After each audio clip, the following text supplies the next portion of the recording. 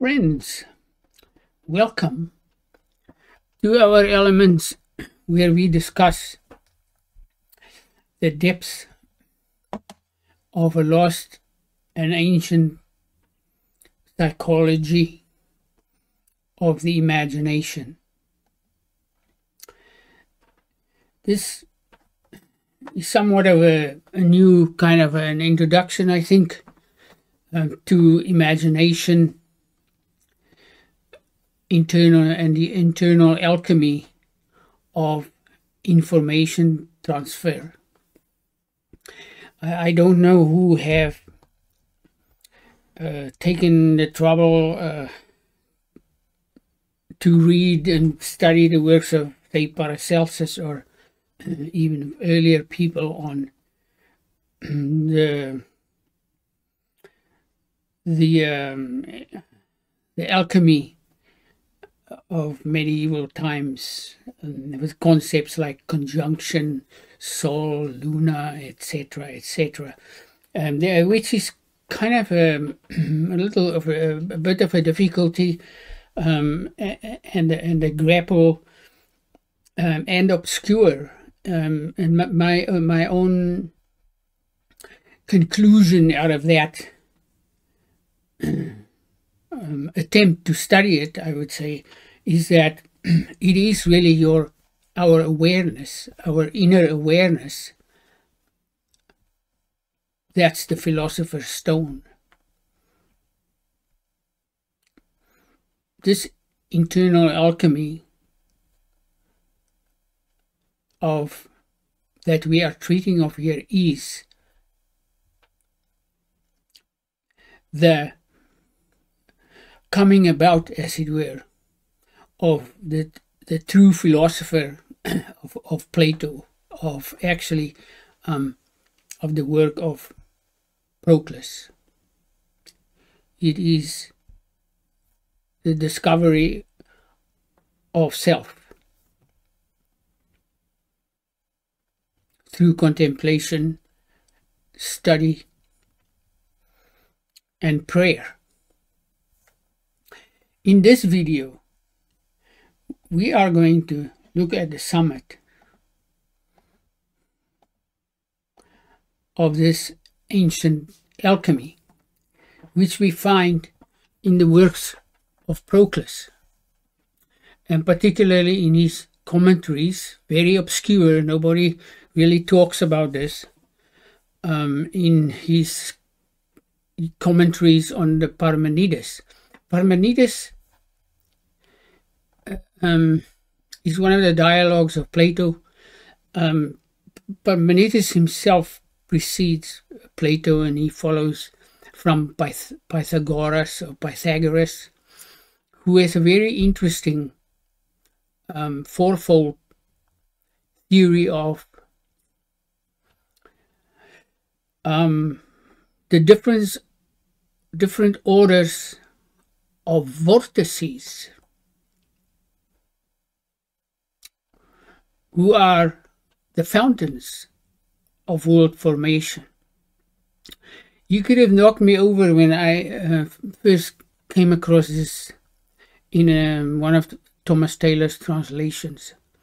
That, there actually is a very ancient notion of tiny vortices and supermassive ones, um, and vortices that are not that, that are above, um, shall we say, the material world.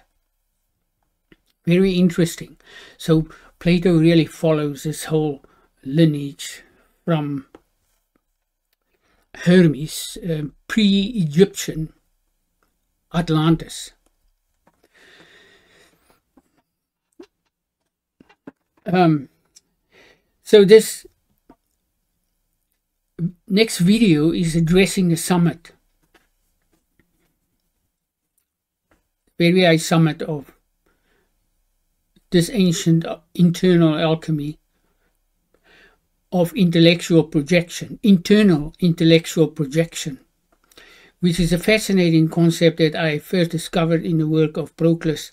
In a letter he writes to Theodorus, the mechanist, who, inquires about these things. And there he talks about internal intellectual intuition.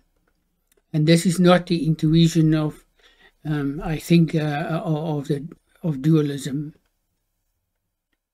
Plato has one world, unified world philosophy, theology actually. Um, so what is the significance then of the, why would I take the trouble to do all these videos, uh, which when someone looks at it for the first time, they say, well, I, I don't understand this. Well, it's because it's been um, kept in obscurity by, I want to say, uh, um, people who perhaps didn't understand uh, this is a big statement, or, or, or, deliberately, I've seen this deliberately uh, rejects uh, and belittles um, these philosophers, these, this theology, uh, mainly because it doesn't, um, it contradicts. Uh, in fact, I'm starting to think that this theology is in terms of opposing forces um, to which uh, Iain McGilchrist very um, elegantly refers in his discourses on brain hemispheres. Um, that these actually are opposing um, psychologies. Uh, and so my point being that uh, denying the opposition it, it really makes you poor. And that's what we have today. We have a poverty of viewpoints because we want to mm, cancel those with whom we disagree. We we take down their videos uh, um, from platforms uh, with a not it's in the AI does it. I mean, it's we we don't have to have hands on anymore. Um, so yes, there, there has been the forgottenness. Uh, for instance, uh, the poets um, Yeats and Blake uh, have had Thomas Taylor as um, a, a, spiritual teacher um, um, in their time. Uh, no, uh, nobody really says anything about about this when they talk about Blake's interesting poetry. When you look at my icons, I dare say that they were similarly inspired, uh, particularly based in the geometry of the commentaries of Proclus on the geometry of Euclid, which is equally obscure. So uh, here we have um, and lost psychology of the alchemy of internal information transfer and it not only pertaining to the formation of our physical of this physical world that we can perceive with our eyes which we will in this video coming um, will explain uh, try and uh, um, uh, explain by uh, with our icons um, the the um, the fountains, um, the living vibrations, the living resonant fountains of formation, who are all living living vibrations, um, angelic orders. Um, interesting how we don't talk about this either the soul, imagination, the vehicle of the soul, Homer's boat, the carriage of Elijah. These all had significance in the depths of time, which we have lost, I think. So this is our video that follows. Uh, we hope you find this, um, it finds you well. You probably have to watch it a few times. Um, um, I, I, will provide all the links for those who might be interested in reading around these works who, whose design is for the advancement of humanity, um, advancing to the good.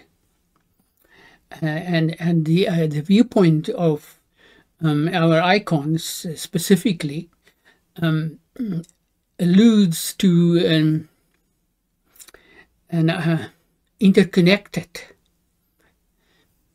evolution and involution, similar to that of David Bohm. We hope this video finds you well. Um, if there, please leave a comment, subscribe. Um, soon, I, I, hope I can start a, um, a, podcast that I would like to call The Inner Port. Um, in uh, elucidation, uh, in, in uh, talk more freely about.